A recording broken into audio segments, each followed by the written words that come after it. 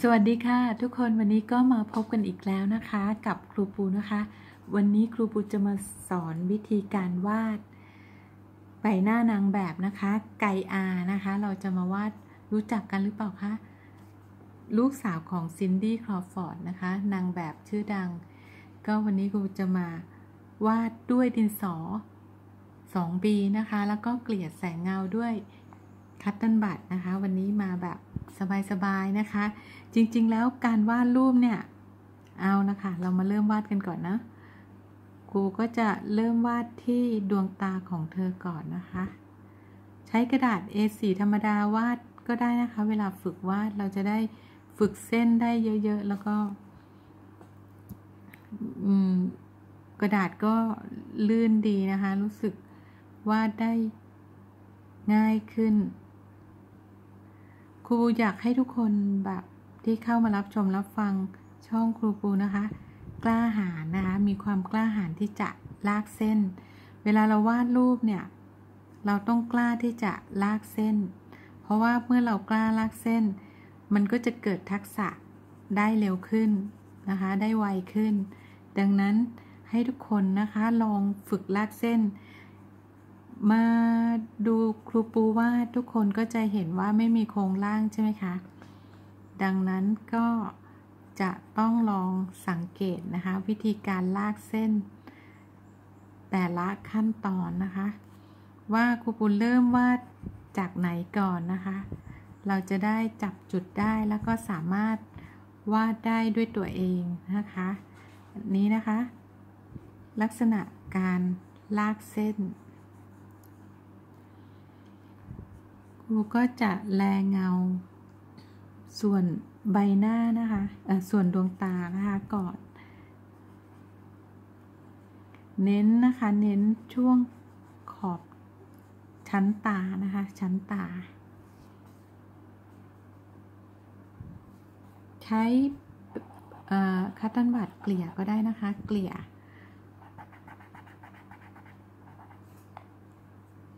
เน้นขอบตาล่างให้เข้มขึ้น จากนั้นแล้วก็ ล่างโครงสันจมูกขึ้นมานะคะ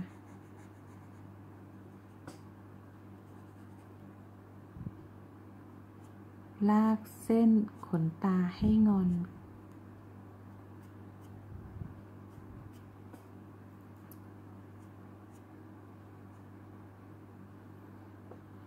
ช่วงเป้าตาข้างล่างนะคะ ล่างเส้นไว้ ส่วนตรงนี้ก็ลงแสงเงา น้ำหนักเทา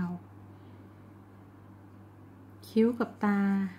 ใกล้กันนะคะ ใกล้กัน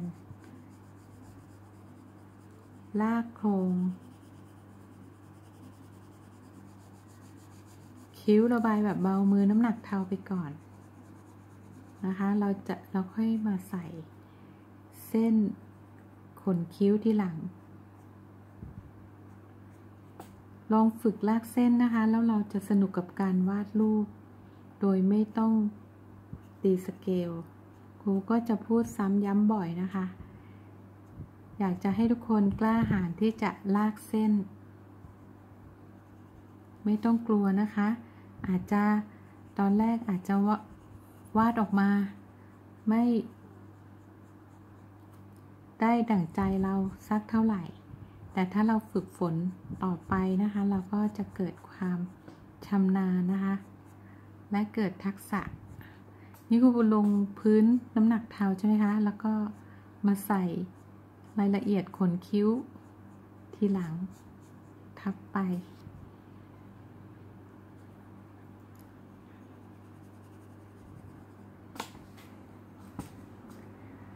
เราก็จะได้ดวงตาข้างหนึ่งแล้วนะคะ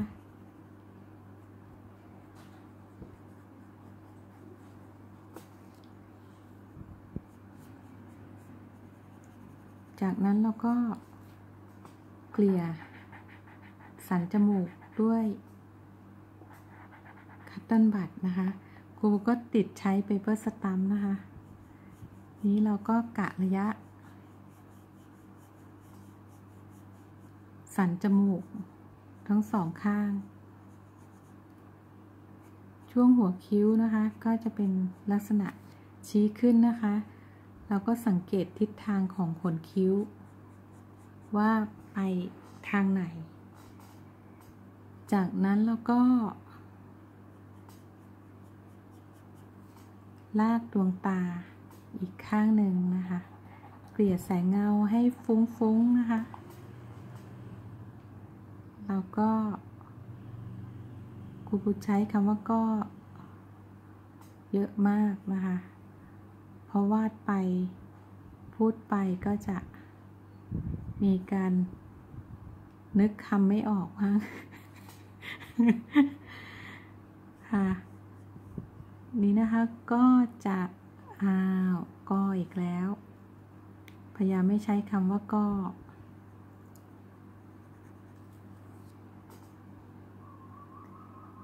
เราเน้นตรงนี้เลย เน้นรอบแววตา ให้เข้ม แล้วก็ระบายน้ำหนักเทาขึ้นมา แล้วเราก็เน้นช่วงขอบลูกตาดำให้เข้มขึ้น จากนั้นก็ล่าง เน้นขอบตาบนลากชั้นตา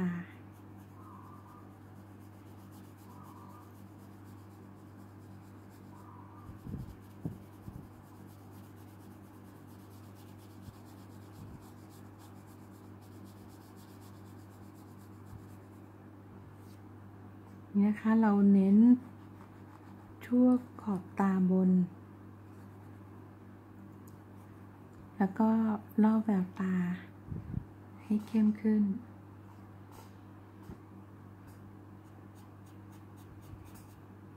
ใส่เส้นขนคิ้วทับโครงคิ้ว ที่เราลากลากไว้ระบายไว้นะคะ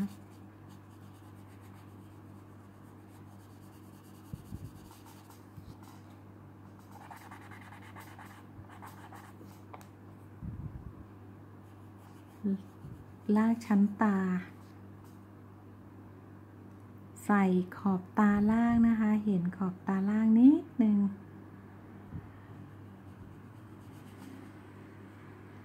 จากนั้นเราก็ใส่ขนตา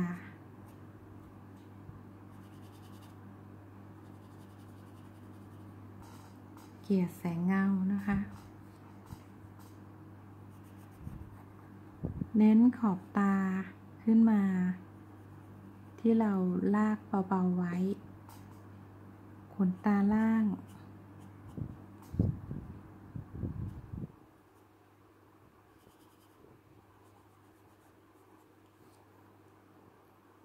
เน้นขนตาขึ้นมานะคะ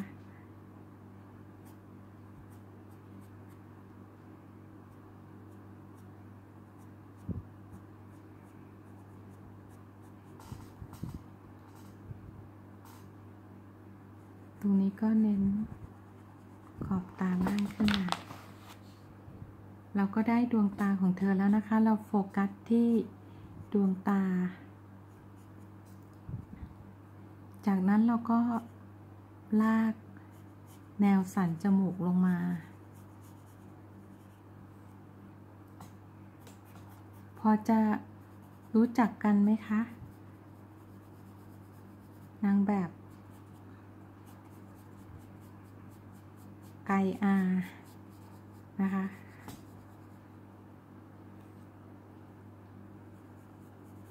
จริงๆไกอาแปลว่าอะไรนะคล้ายพระแม่ธรณีอะไรแบบนี้เนาะความหมายอะ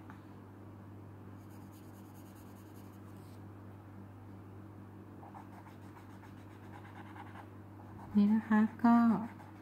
จะระบายสันจมูกขึ้นมา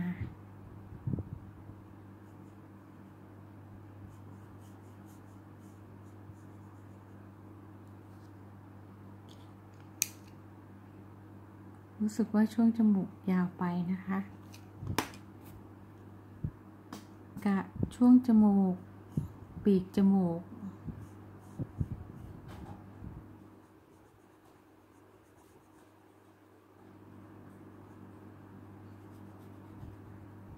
เราต้องฝึกลากเส้นบ่อยๆนะคะ ถ้าเราอยากจะวาดรูปแบบได้คล่องแคล่วว่องไว เราก็ต้องกล้าหาญที่จะลากเส้น อันนี้ครูปก็มาวาดให้ดูนะคะ เป็นแรงบันดาลใจในการวาดรูปให้กับทุกคน วันนี้จะมาใช้ cotton bud นะคะ เกลี่ย เกลี่ยเนียนมากเลยนะคะ สวยเหมือนกันนะคะ cotton bud เนี่ย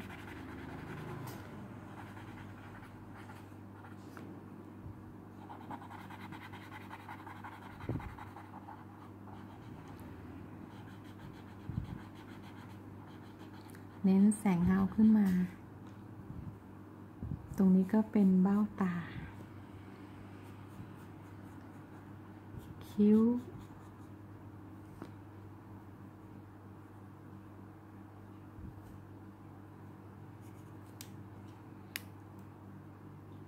เราจะลบ ช่วงตรงกลาง ขึ้นมานะคะ จากนั้นก็มาวาด ปากกัน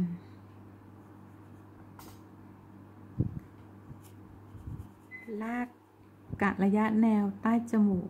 ลงมาก่อน มาเป็นช่วง ช่วงปาก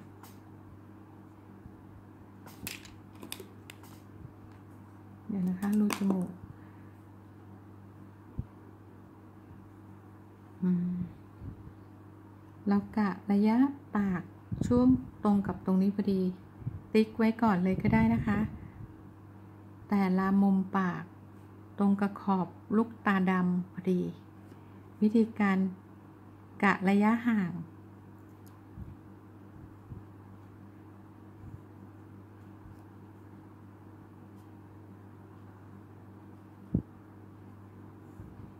เราจะมาแคปเจอร์ใบหน้านางแบบกันนะคะวันนี้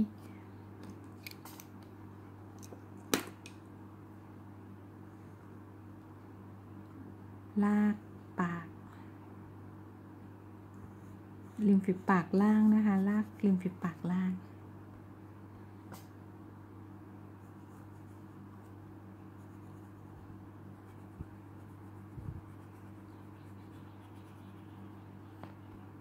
เน้นนะคะ เน้นช่วงปาก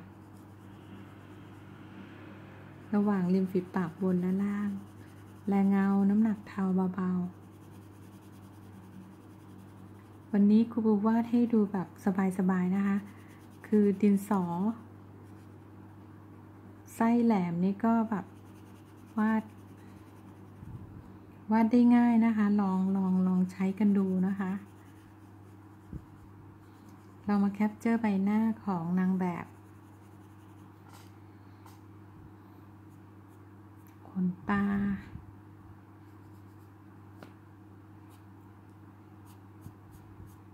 เน้นขนคิ้วขึ้นมาอีกนะคะ ให้ ให้ชัดขึ้น ระบาย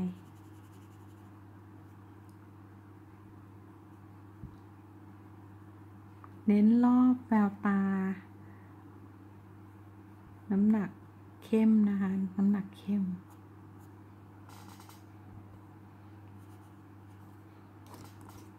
เกลี่ย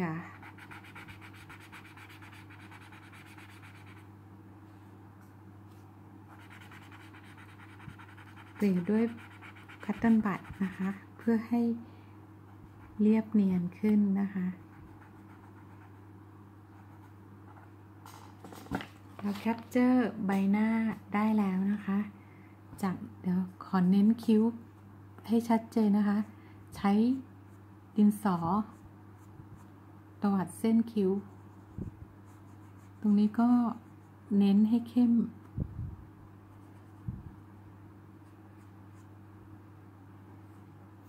เราเราได้ใบหน้าของนางแบบแล้วนะคะ ต่อไปก็มา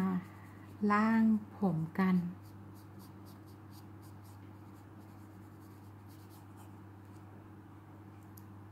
เดี๋ยวตัวครูขอเน้นช่วง ปากนะคะ ให้เข้มขึ้นมานะคะ แล้วก็เกลี่ย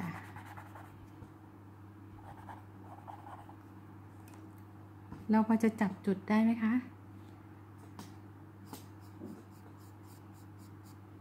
ตรงนี้ก็เป็นผมแสกกลางนะคะผมแสกกลาง มีลายผมตกลงมา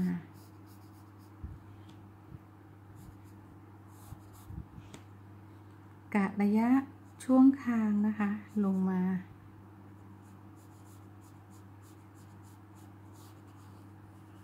ลากเป็นลูกหน้า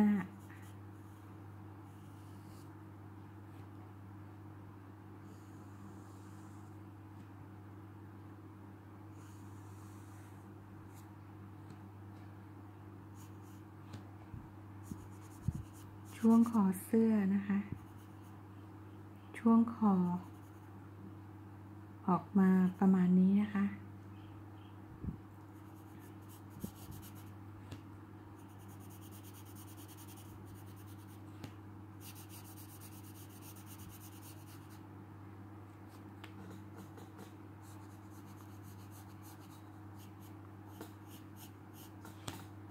เกลารูปหน้าหน่อยนะคะ รู้สึกว่าจะ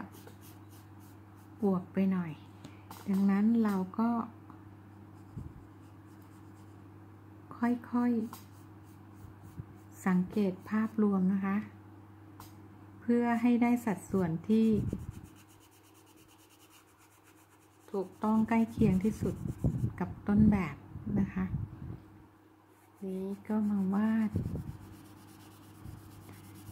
แคปเจอร์ใบหน้านางแบบกัน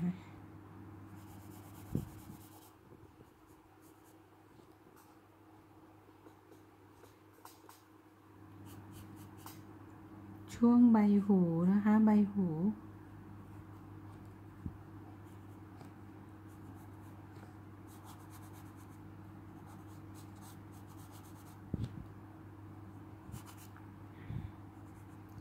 ลากปกเสื้อ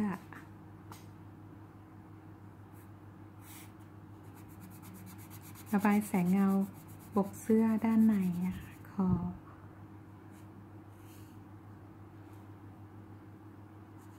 ตรงนี้ก็เป็นช่วงผม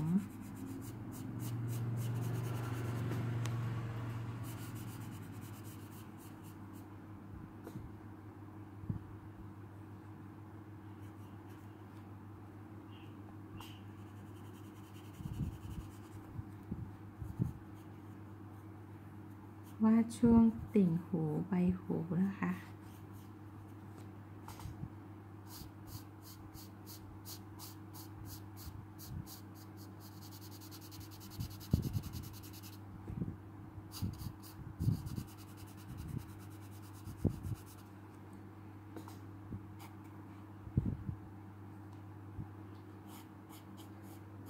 แรงเงาผม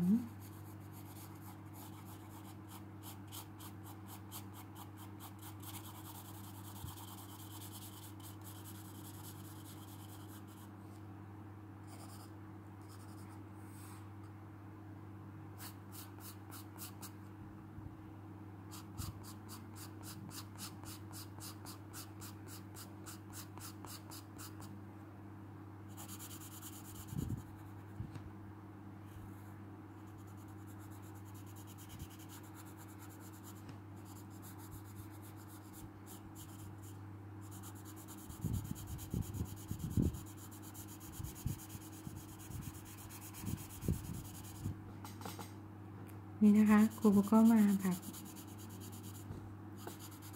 วาดให้ดูเพื่อจะได้เป็นแรงบันดาลใจ ในการวาดรูปแบบง่ายๆนะคะสามกฎหลัก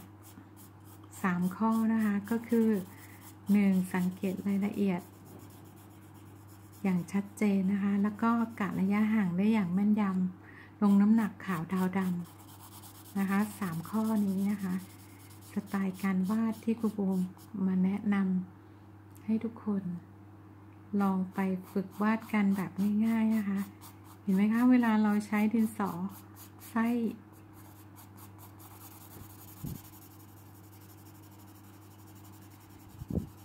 ไส้แหลมเนี่ย แล้วก็ยาวเราสามารถควบคุมน้ำหนักมือได้ดีทีเดียวนะคะ ลอง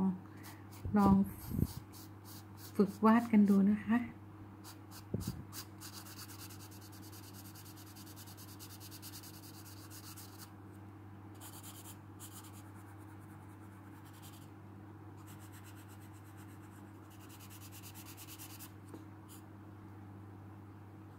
ตรงนี้ก็เป็นแสกกลางใช่ไหมคะ แสกกลาง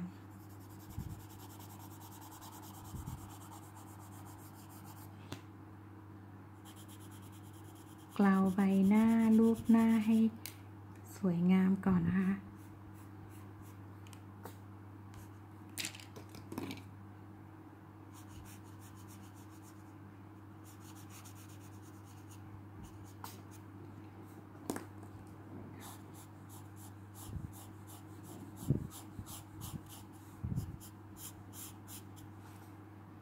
เอาครูปูวาด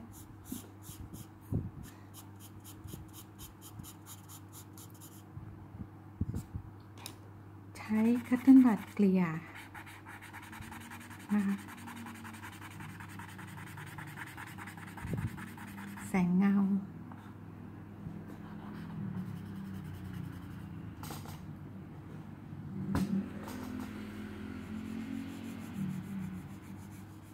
เน้นใต้เงาใต้คางขึ้นมานะคะ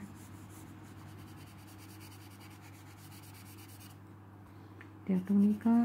เน้นริมฝีปากด้านข้างขึ้นมาหน่อย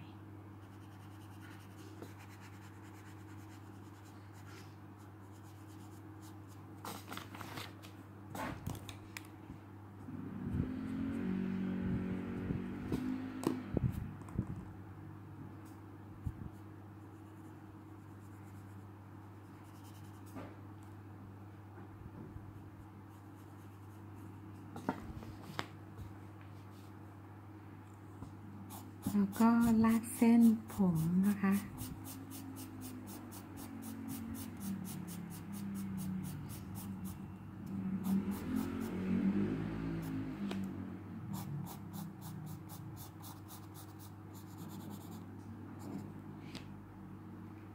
ส่วนตรงนี้ปรับแสงเงา ช่วงปีกจมูกนะคะ เน้น เน้นเส้น ให้ชัดขึ้น แล้วก็เน้นเส้นตรงนี้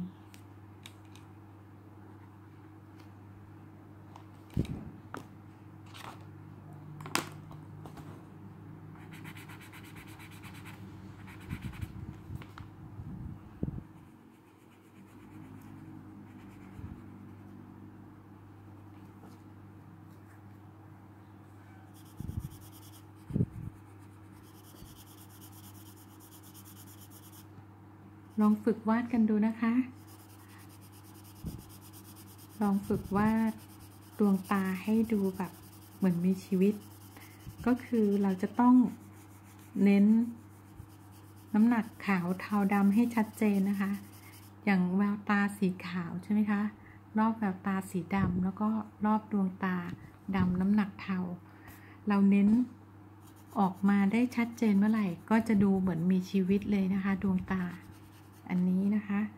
หลักหลักง่าย ๆนะคะ ที่ครูบุมนำมาแนะนำให้กับทุกคนนะคะ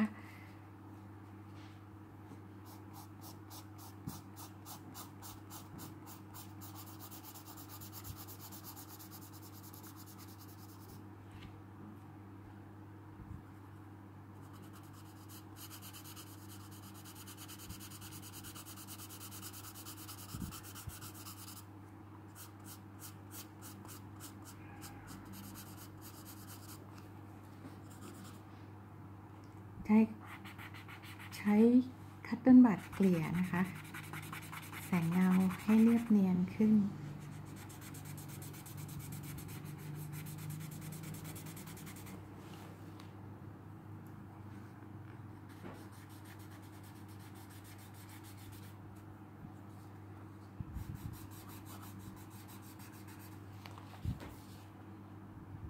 เน้นช่วงขอบตาขึ้นมาให้เข้ม เอาละค่ะ วันนี้ครูปุ๊ก็มาวาดให้ทุกคนได้รับชมรับฟังกันประมาณนี้นะคะ หวังว่าจะเป็นประโยชน์แล้วก็ เป็นแรงบันดาลใจในการวาดรูปให้กับทุกคนนะคะ ลองฝึกกันดูนะคะ ดูทิศทางของผม